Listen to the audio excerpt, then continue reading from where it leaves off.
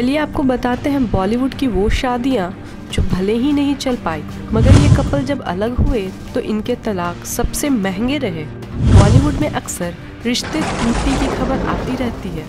हाल ही में बॉलीवुड अभिनेत्री मलाइका अरोड़ा खान और अरबाज खान अलग हो गए दोनों स्टार की 18 साल की शादी खत्म हो गई है। मुंबई की बांद्रा फैमिली कोर्ट ने दोनों के तलाक को मंजूरी दे दी है।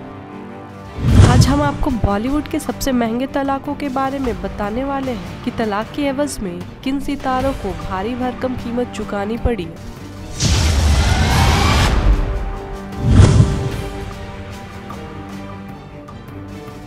शाहरुख की फ़िल्म दिल से के गाने छैया छैया से बॉलीवुड पर छाने वाली एक्ट्रेस मलाइका की लव स्टोरी काफ़ी रोमांचक रही।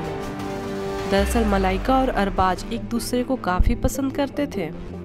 साल एक दूसरे को डेट करने के बाद दोनों ने साल उन्नीस में शादी कर ली थी। दोनों के बीच सब कुछ सही चल रहा था, लेकिन अचानक 2016 में मलाइका का नाम अर्जुन के साथ जुड़ने लगा।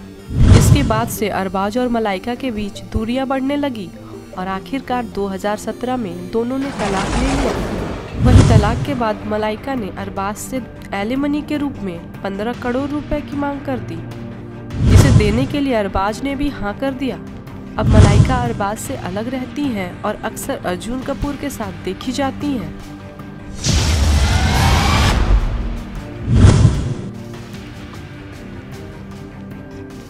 बॉलीवुड के हैंडसम एक्टर ऋतिक रोशन और उनकी पत्नी सुजैन की तलाक की खबरें तो शायद आपने सुना ही होगा। लेकिन क्या आपको पता है कि सुजैन से अलग होने के लिए ऋतिक को एलमनी के तौर पर कितनी रकम देनी पड़ी? चलिए तो वो हम आपको बताते हैं। लेकिन उससे पहले जान लीजिए, दोनों के बारे में कुछ और ख़ास बातें।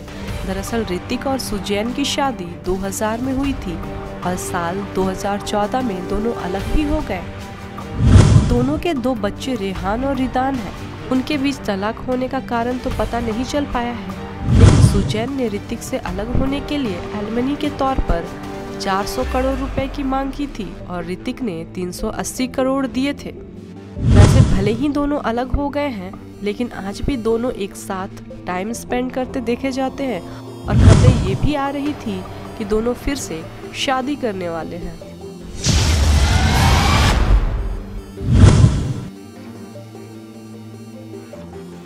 आमिर खान बॉलीवुड के एक ऐसे एक्टर हैं जो अपनी हर फ़िल्म के लिए जी जान से मेहनत करते हैं।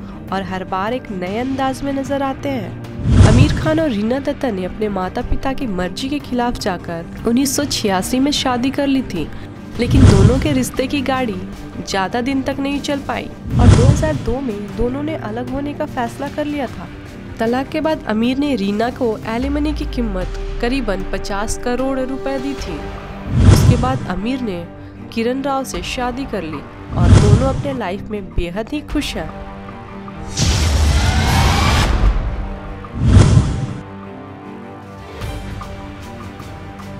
बॉलीवुड के छोटे नवाब बोले तो सैफ अली खान।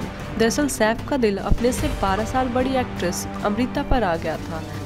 इसके बाद सैफ ने उन्नीस में अमृता से शादी कर ली थी। दोनों के दो बच्चे, सारा और इब्राहिम भी हैं, लेकिन दोनों की शादी भी लंबे समय तक नहीं चल पाई। और साल 2004 में सैफ और अमृता अलग हो गए।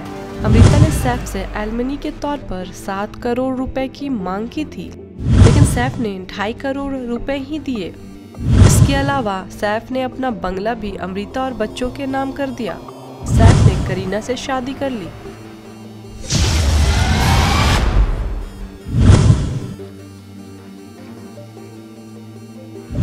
बॉलीवुड की खूबसूरत एक्ट्रेस करिश्मा कपूर ने साल 2003 में बिजनेसमैन संजय कपूर से लव मैरिज की थी। दोनों की शादीशुदा ज़िंदगी में काफ़ी प्रॉब्लम चल रहे थे, जिसके बाद दोनों ने अलग होने का फैसला कर लिया। करिश्मा ने तलाक के बाद सात करोड़ रुपए की मांग की थी और संजय कपूर को ये रकम एलिमनी के रूप में करिश्मा को देना पड़ा।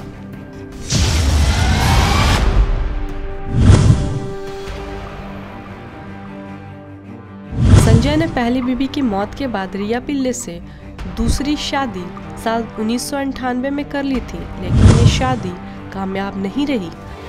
संजय बेशक रिया से बेहद प्यार करते थे, लेकिन रिया का टेनिस स्टार लिएंडर पेस से अफेयर इन दोनों के तलाक की वजह बन गई। अब संजय ने एलमनी के रूप में शानदार बंगला और गाड़ी तो रिया के नाम किया ही, साथ ही आठ करोड़ रुपए भी देने पड़े।